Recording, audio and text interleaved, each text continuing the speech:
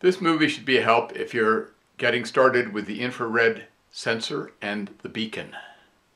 So the first thing you need to do is get a sensor block and you want to get the infrared sensor so you can drag it up and uh, put it where you want it to be. Uh, you'll want to choose the mode that you want to use and what you want to do is measure beacon like that and this gives you a number of choices. Uh, one, you or set the channel, we'll use channel one. Second is a data, this is data from the sensor that you can get out using a wire.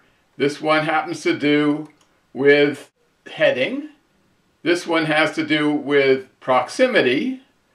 And finally, whether it's detected it, whether it's found the, the beacon uh, someplace in its sight.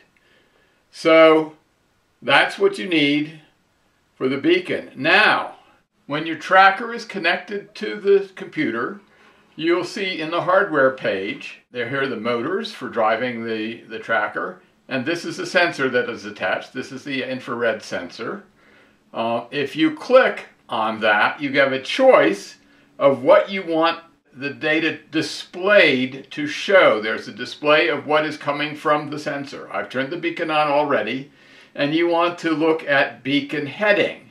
And you can see when I choose that, that there's a number right above the icon for the beacon. If the beacon is straight ahead of the sensor, you get a reading of zero or close to zero.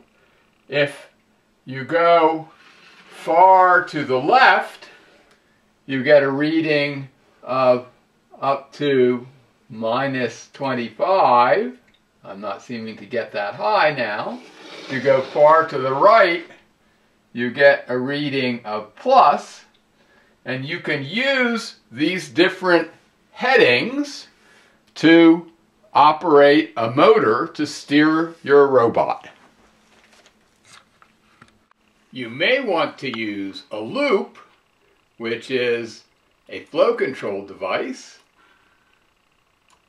And you may want to put your sensor inside that and then add a motor of some sort and connect the sensor to the motor and use that to control your steering.